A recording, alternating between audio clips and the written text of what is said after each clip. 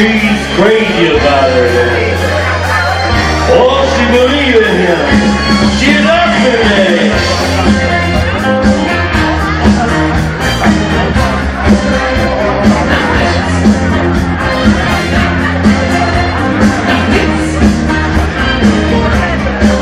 Oh, a house.